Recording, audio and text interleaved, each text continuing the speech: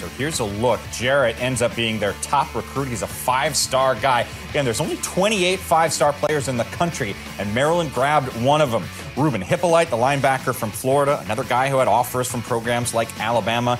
Peny Boone, a guy from Detroit, Michigan, three star player who's really talented. Uncle was an NFL player, Alfonso Boone for a long time. There are a lot of good guys coming into this Maryland program.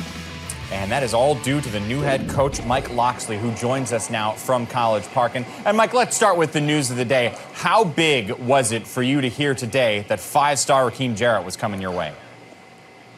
You know, that was a huge, huge get for us. Uh, the Terps got better today, and, you know, to be able to recruit a guy like Rakim Jarrett, who was a national guy, uh, our staff did a tremendous job. Our players, the coaches, and their wives all played a huge role in, in, in being able to secure a commitment from one of the top players in the country. But again, I got to give the kid a lot of credit. Um, it shows the type of character he has as a player. That he's a guy that's a leader. He, you know, he's not afraid to take on tough tasks. He's not afraid to come be a part of something that's growing, and it, it speaks volumes to the kid's character. And I've known Rakim since he was in the eighth grade. So uh, glad to have him be a Terp. And he's the cherry on top of what was a pretty decent group of wide receivers as well. Anyone else in particular stand out to you? Yeah, you know, Day Day McDougle from down there in South Florida. Uh, Day Day's one of those South Florida route runners, you know, coming from Alabama, where we had guys like Jerry Jeudy and Calvin uh, Ridley. You know, Day Day is right in the same type of mold as those type of players, a big play threat. And, you know, one of my favorite guys that, that we signed is Nick DeGennaro. He's a kid out of New Jersey uh, that, you know, came to one of our camps, ran 4-4 high, jumped 38 tremendous athlete with good short area quickness. And so, you know, for this offense to be effective, you've got to have guys that can win uh, out in space and win at the top of routes. And, and we really feel like we improved the, the receiver room uh, with this year's recruiting class. As you rebuild this Maryland program, what is the value right now of bringing in junior college kids?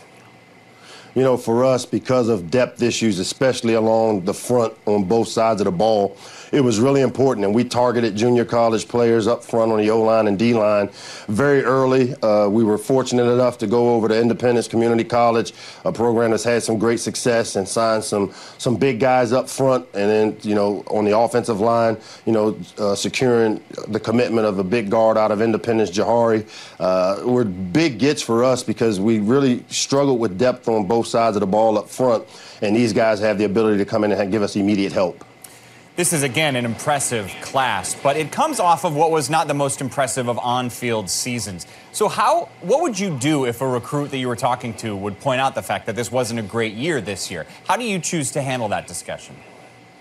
Well, I think the big thing is we've been really transparent. I mean, you know, we've had three head coaches in five years here at Maryland, and that's three different recruiting philosophies, three different structures and offensive systems.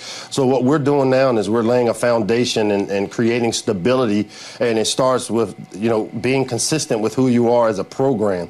Um, we were transparent in the recruiting process. We don't hide uh, or shy away from the fact that we finished three and nine. There were some big games and some good games there early where we showed what we could be when we play the way we're capable of. Then we hit a, a lull. We had some injuries. You know, we're really three games away. You know, we lost a close game to Temple.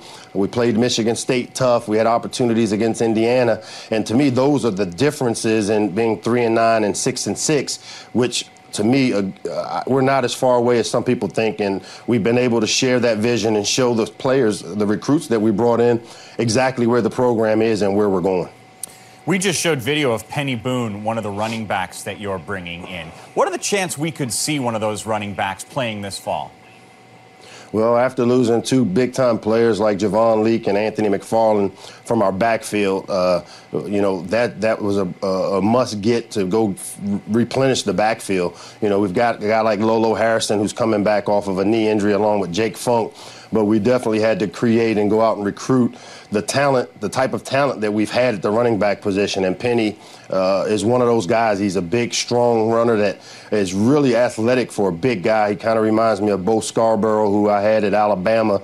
Uh, catches the ball well out of the backfield, plays really physical. Uh, he's your typical Big Ten back, and it, it, was a great get to go get the Detroit Player of the Year, uh, the Metro Player of the Year, to come down here and help us. What a really strong way to close out this class. Michael Locksley, congratulations. Thanks so much for giving us some of your time. Thank you, guys.